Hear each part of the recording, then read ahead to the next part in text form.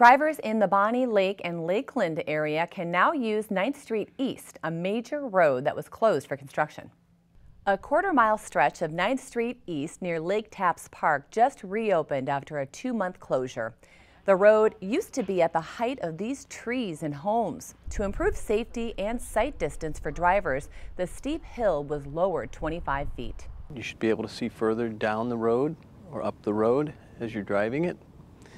And you'll also notice that there are some new slopes on the left and right. You'll notice new guardrail. And what you won't notice is that there's a new and improved drainage system that meets current stormwater standards.